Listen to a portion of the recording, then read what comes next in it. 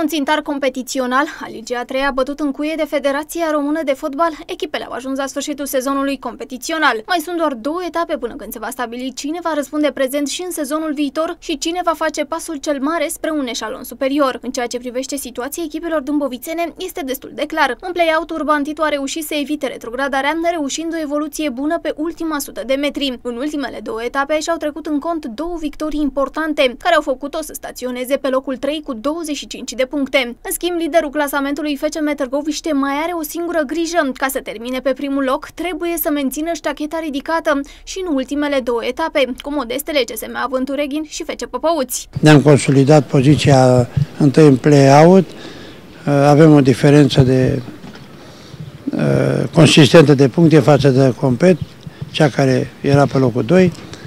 Acum urmează să mai avem două meciuri de disputat. Uh, vineri mergem la Reghin și ultima etapă acasă cu Păpăuți uh, și vom încheia un uh, campionat cu rezultate promițătoare pentru ce va urma din vară. Penultima etapă se va disputa vineri 30 mai după următorul program.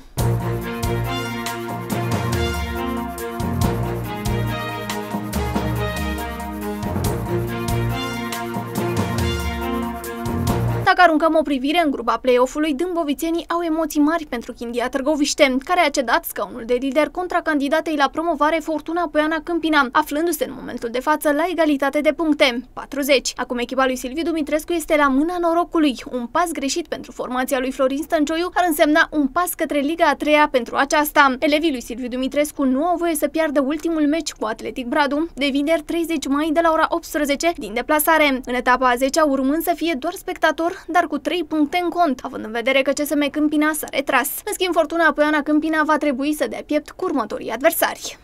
Vineri mergem la, la Pitești, pe stadionul Nicolae Dobrin, urmând să întâlnim echipa locală FCM Pitești, urmând ca vinerea cealaltă, în cadrul ultimei etape a actualului campionat, așa cum spuneam, să avem condițiile create de a sărbători o promovare istorică a echipei noastre în eșalonul secund.